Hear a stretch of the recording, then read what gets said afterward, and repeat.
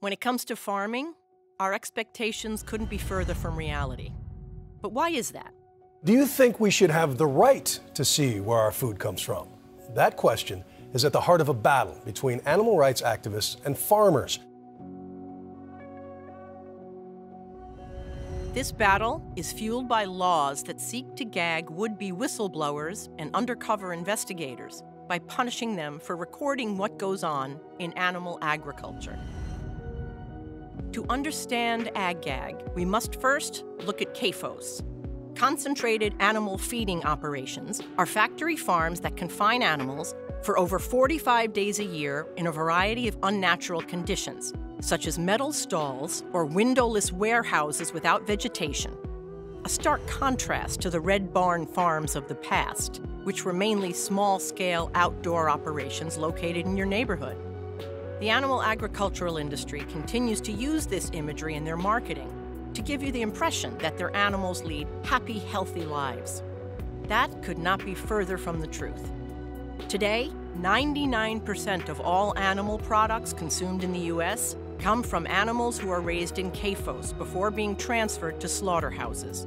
Fearing the public outcry that their tactics would elicit, the animal agriculture industry fought to conceal their methods rather than raise their standards. Consumers had the, these images of these happy farms with red barns and green fields, and then these investigations came along and people saw for the first time you know, what animals endure inside these facilities. In the early 90s, state associations and farmers began lobbying their states to pass ag-gag laws. They, they shot the messenger, if you will. They criminalized taking pictures and videos inside factory farms and slaughterhouses. In practice, ag-gag laws hide industrialized farming from public view.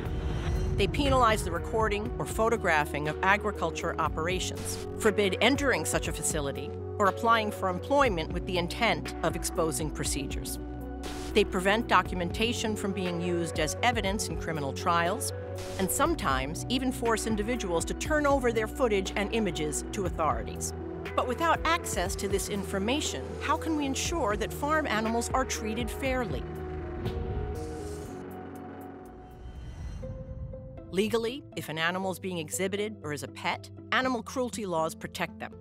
However, if they are classified as food animals, they're exempt from animal cruelty laws so long as their treatment fits within common or normal farming practices. The catch is that industry standards are dictated by the industry, meaning that factories determine how to operate based on how other factories operate. The more facilities that participate in abusive tactics, the easier it is for animal agriculture to get away with inhumane practices. Pigs' tails are severed to prevent other pigs from biting them off in fights. Chickens' beaks are seared with a hot knife to prevent them from pecking each other to death in battery cages. Cows' horns are cut off so they don't impale each other in feedlots. Common practices include confinement in packed pens which leads to uncharacteristically aggressive behavior as animals are forced to compete for space and food.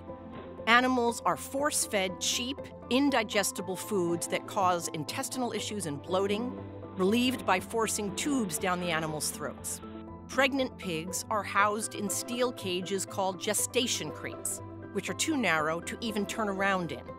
After giving birth, the sow is frequently moved to an even smaller cage where she is forced by metal bars to remain on her side as her piglets nurse, unable to interact with them.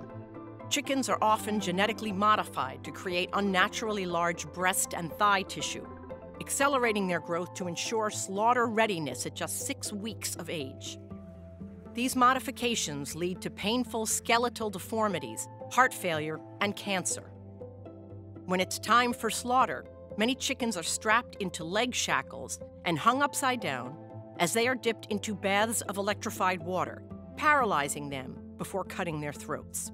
And that is just the tip of the iceberg. With ag-gag laws in place, it is nearly impossible to know what other gruesome practices have become the industry standard. The few undercover investigations that have gone public suggest many factory farms engage in unlawful treatment, far worse than what's already allowed. An undercover investigation of a California slaughterhouse revealed that meat from downed cows was going into the National School Lunch Program. Because downed cows are more likely to carry mad cow disease, consuming their meat is potentially fatal for humans. As a result of that investigation, legislation was passed that prohibits the human consumption of downed cows.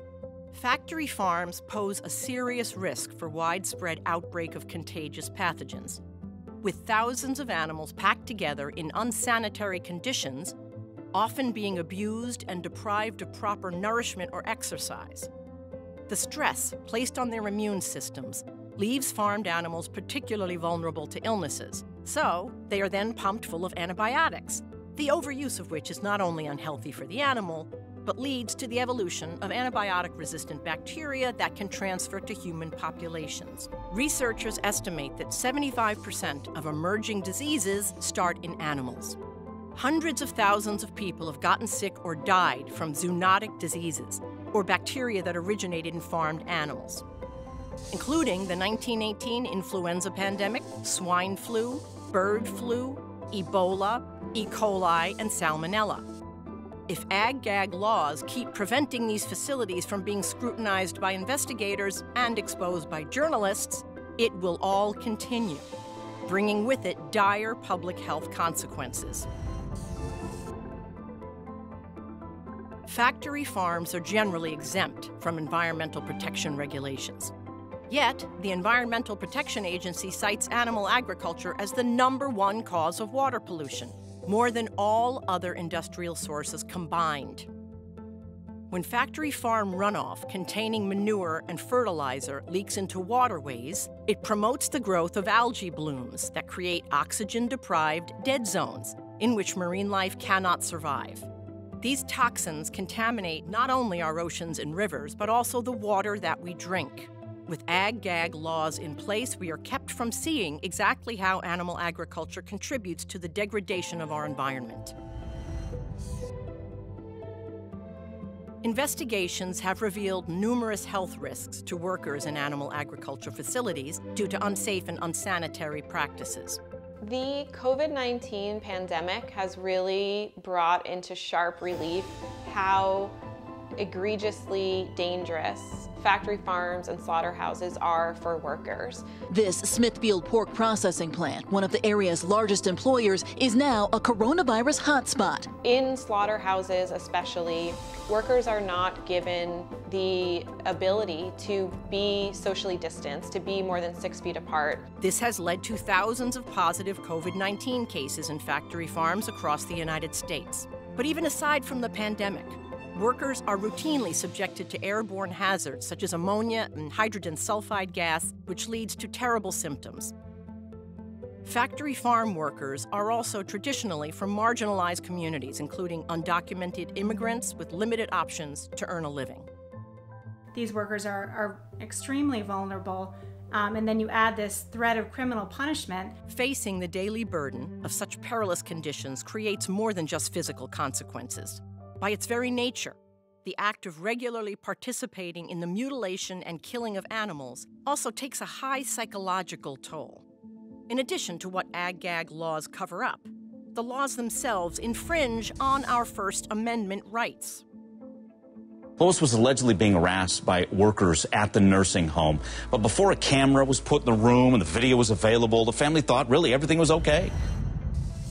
Even beyond the animal agriculture industry, in some states, ag-gag laws are broad enough to penalize whistleblowing across the spectrum of businesses, including hospitals, elder and veteran care facilities, and schools.